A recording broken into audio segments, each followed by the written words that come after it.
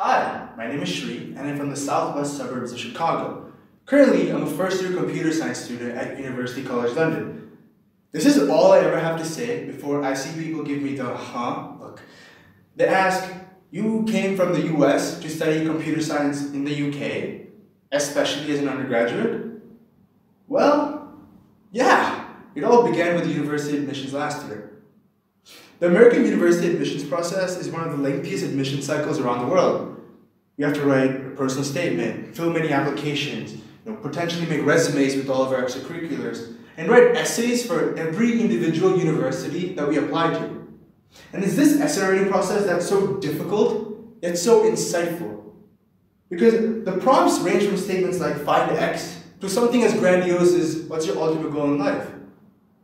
And it was during this phase of my life, I kept asking myself, I'm putting so much time and effort into crafting the best application that I can. Now, what if I get denied an offer? And I'm sure many of you felt that way too.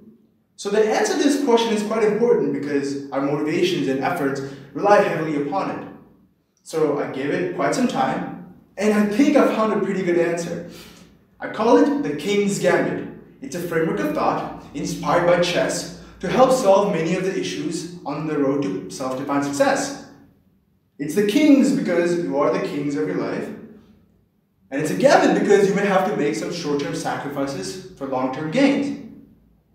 I'll explain. Now imagine your life laid out on a big board of chess. As you grow older, you and life take turns playing the game. It's you versus life.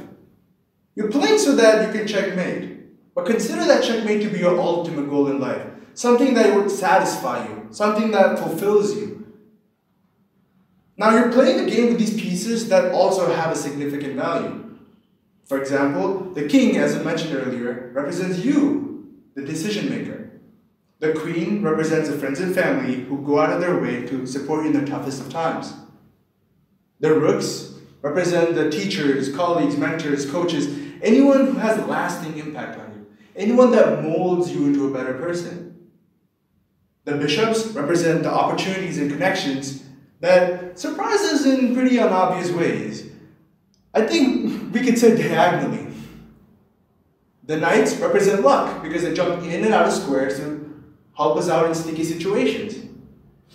But then, last but not least, we have the pawns, arguably some of the most important pieces of the game. These represent the daily actions that help get us closer to our ultimate dream. You see how all these pieces resemble the most important aspects of our lives? Friends, family, luck, opportunity, mentors, teachers. These are all extremely crucial for us to achieve our dreams. Now, whether we know it or not, we all tend to play the king's gambit with these pieces.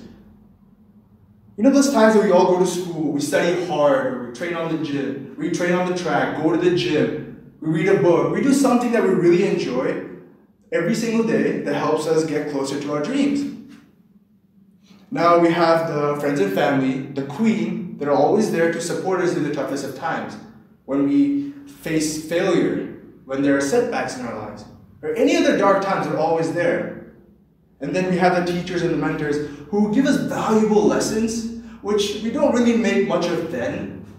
But then later on, we figure out its significance and importance in our lives. And they're the rooks. Then we have the opportunities and connections that come in the form of an application to this job that you always wanted, or the chance to try out for this basketball team, or the chance to showcase your skills at a competition. It's all, it all comes in some unobvious ways. And then finally, we have the knight. These are quite evidently are pretty important in our lives because, I mean, you're sitting there watching me speak today, and I'm lucky enough to be able to stand here and present my idea to you. So far we've talked about the layout of the board, but what really gives a king's gambit its power are the six key truths that I'm about to give you. Number one, it's the war and not the battle that's important. Little failures and setbacks here and there don't really mean much. Because think about it, if you continuously make the best move at every given turn, aren't you bound to get that checkmate or get as close as you possibly can? Now, if I wanted to be the best dancer in the world, it doesn't matter how hard it is for me to get there or how long it takes for me to get there. As long as I get there, I'm content. And if in case I don't get there, I did my personal best. I can't really do much else. So I'm still quite content. Number two, it's focus on your own game and not anybody else's. Because let everyone do their own thing. If your friends are studying engineering or medicine, that's okay. You could still be an artist, you could still be a dancer, still, could still be a musician. At the end of the day, you're independent of them. Now, if all your friends are going out to party, it's okay for you to sit and study. But if all your friends are sitting and studying, it's okay for you to go out and party. As long as you're making the best move for yourself, it's okay if you're different from what they're doing because you're independent of them. Number three, it's, remote, it's important to remember that you are the king of your game, of your life. You can't just sit in your bed all day, think of the ideas you're going to do the very next day, because you actually have to execute it. Otherwise, the layout of the board never changes. At the same time, thinking like this also brings accountability for your consequences. Although trivial in the beginning of the game, minimizing negative consequences is actually quite crucial as you approach the end game. Number four, networking is a powerful tool. The strength in weak ties. Always reach out to whoever you can whenever you can. There's always help out there. You always need to know when to look and where to look, but always ask for help. After all, that's how we learn how to improve our game, right? Number five, be grateful for your pieces. They don't have to be there for you. No one's obligated to do anything for anyone on this planet. And the fact that they're there means that they're extremely valuable for your victory. So embrace them and be grateful for them. Number six, everything has a finite timer. We all die inevitably. And so let's make the best use of the time that we have on this planet. I know for me, when my time runs out and somebody comes to inspect my game, I want them to think that I played one hell of a game. And that really motivates me. And these are the six key truths that really help push our gameplay to the next level. But then I started wondering, is this really applicable to everyone? And I quickly realized that it actually is. The people considered the greatest of all time inspire us so much simply because of their resilience amidst adversity so captivating. But the state of resilience amidst disruption requires both the ability to remain resilient and an obstruction to hold value. But and both of these are extremely subjective if you think about it. For example, for Muhammad Ali, the desire to be the best boxer in the world was an instinct. For Kobe Bryant, the tenacity during basketball games comes naturally as well. For them, training, illnesses, failures, setbacks don't really mean much. And this is a learnable trait. Because something is only an obstruction if it's a hindrance. And the King's Gambit allows us to see things as mere inconveniences. And it makes us all resilient in a way. And this really helped me because during the admissions process, I told myself that I would happily attend and thrive at any university that I go to. So I kept trying to craft the best application that I can and I was happy with them. But now that brings me to why I'm here. Well, the reason is I wanted to advance my pieces closer to the checkmate. You see, I want to be the I want to be a philanthropic technology entrepreneur with a philanthropy focus on increasing education and healthcare services to the developing countries. Now, for this, I needed to escape the facade that living in America can create sometimes. But now that I'm here, I started placing my pieces strategically I, even before university began, I reached out to my fellow peers and heard their firsthand accounts of their lives in different countries. That helped me gain a perspective on different societies in the world.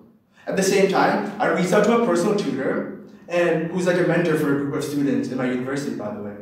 Um, and I discussed my ambitions and what opportunities there are here for me.